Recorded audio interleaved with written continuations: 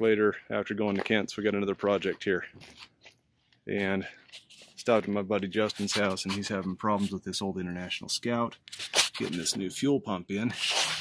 And we've got a bolt in here that I think the thread inside the block is just dirty. So we're to see if we can help him out real quick and get this cleaned out and get this going through here. So I'll show you that. If the camera will focus.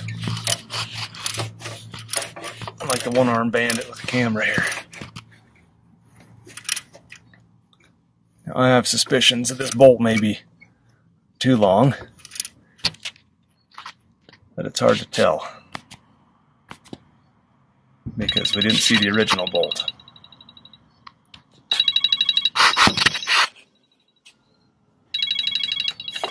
I'm going to keep cranking gently.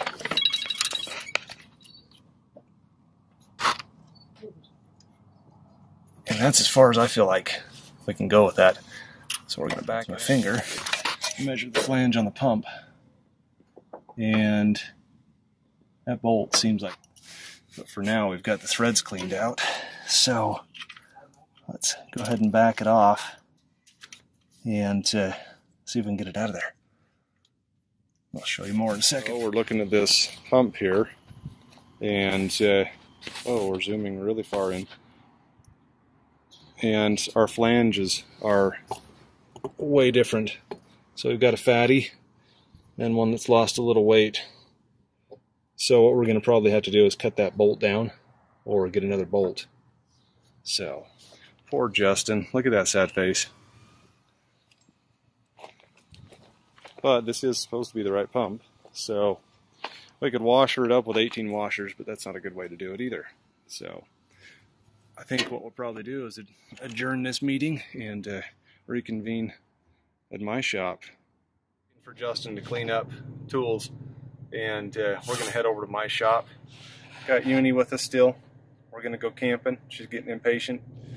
But we're going to go and see if we can either find a shorter bolt for him so he can get this in and uh, get that scout running again. We had it run the other day, but the fuel in it's really old and the pump, diaphragm, the shot, and it's been sitting for quite a long time. Fuel smells horrible. So right now, I think he's just going to probably burn out what's in there, maybe mix it with some premium and see what comes through the filter. Worst case scenario, drop the tank. And I would think the carburetor needs a rebuild, but his biggest concern on that is the fact that uh, it's had some sort of electrical problem and we don't know what until we get it running and see where the smoke's coming from. Diagnose the scary way. Try and do real quick is just find Justin a bolt that'll work for him. That may be one right there. Let's see what we got for a bolt on your pump. You want to take that bolt out of the pump here and then uh, we will uh, see if that lines up. That's probably just about right. I know, it's stuck in that gasket. See, this gasket's dumb. It's like a neoprene type gasket in it. All right.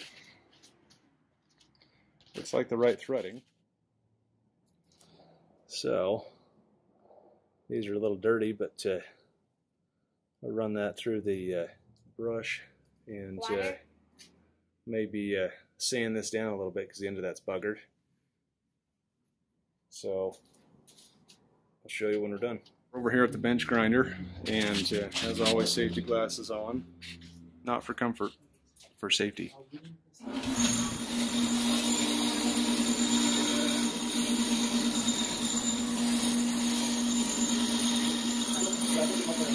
Okay, I'd say that looks a lot better. We changed bolts actually too, so I'm going to give that to Justin, and uh, that'll be the end of that little project. Still got a little crud on there, but shouldn't affect it.